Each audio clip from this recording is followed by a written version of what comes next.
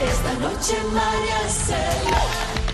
Buenas noches y bienvenidos. Hoy lunes, feriado en República Dominicana y nosotras al pie del cañón con trabajando. muchas energías para trabajar, sumamente animosas, sobre todo María Cela Álvarez y yo, lo siento por Diana porque el Licey está ganando. Es para que se entusiasmen un poco. No, no, no, se, esto se acaba Una mañana en. Santiago. Esto Una- se acaba mañana. que pudimos Mira, jugar hoy. mira, eh, la Mira, me gustó, la, toma, Diana. me gustó espérate. la toma amplia porque eh, no se Sí. me veía barriga ni ese- nada. Mira, no, no, no, Pero no. si me pongo Señores, así de lado, miren, parece miren. que me tragué una pelota. Una explosión este fin de semana, ese niño con todas estas lluvias en este fin de semana largo. Hay una aceitunita. Fuera de broma, linda. fuera de broma. Este fue un fin de semana largo. Bueno, larguísimo. Largo. Porque además con todo que cayó, poca Lluvia. gente se fue para el Es interior. que no había nada sí. que hacer. Y si Y los que se fueron para la playa tuvieron que aguantar agua. y también. se quedaban en la habitación y los que se fueron para la montaña se quedaban en la habitación y todo el mundo se quedaba en su casa, o sea que fue Antes, eternamente largo. antes de comenzar, quiero enviar un saludo porque acabo de venir de esa casa en este momento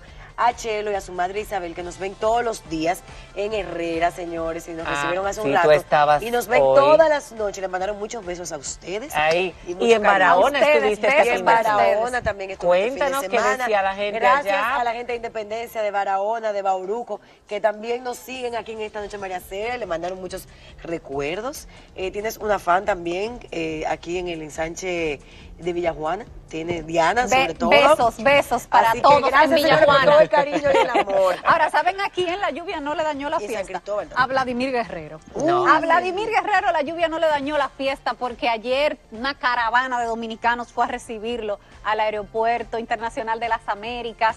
Eh, desde ahí llegaron hasta el malecón donde había una fiesta con varias orquestas y ahí fue muchísima gente a apoyarlo. Ese hombre bailó, cantó, se votó. Estaba porque- feliz. feliz, eufórico. Y luego entonces la fiesta terminó en Don Gregorio, el pueblo de Nizao, de Vladimir Ah, Guerrero. ¿dónde? Y yo- sí, donde vive, donde vive, Donde vive, do- donde donde nació vive. y vive Así Vladimir es. Guerrero. Y hoy no hay nadie en Don Gregorio que no esté resacado. Porque Don Gregorio entero salió a fiestar anoche Qué con Vladimir Guerrero. tan grande cuando un hijo, un compañero, un amigo, un vecino logra destacarse Ay, sí. así a nivel mundial. Qué honor, qué orgullo para toda esa gente de ese pueblo, que todo el mundo ponga los ojos en ellos, gracias a Vladimir Guerrero.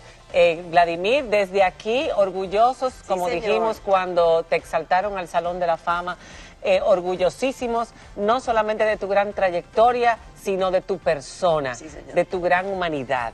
Que Dios te bendiga y conserva siempre esa forma de ser y esa humildad y ese orgullo de ser dominicano. Esos son los hijos de nuestra tierra que nos hacen sentir muy, pero muy orgullosos.